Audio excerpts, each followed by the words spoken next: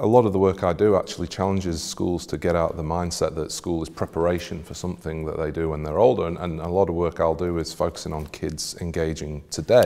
And so in today's ever you know, more globalized, connected world, I think compassion, empathy um, are essential. We only need to look at the, the issues unfolding all around the world to, to understand that this is a crucial thing that kids need to be aware of. I think also they need to be critical um, of, of the information they receive, you know, being connected in a way they've never been connected before. So widely, but I, I question how deep those connections go.